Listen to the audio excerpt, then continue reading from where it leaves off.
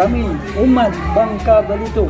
Bismillahirrahmanirrahim. Assalamualaikum warahmatullahi wabarakatuh. Itu siap berjuang menegakkan keadilan dan melawan kezaliman dalam satu barisan demi tegaknya agama negara yang berkedaulatan di bawah naungan panji-panji Islam dan kami siap siaga memperjuangkan ini dalam segala keadaan demi mencapai ridho ilahi.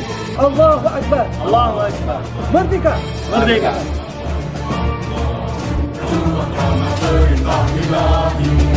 Partai umat memanggil kita Partai umat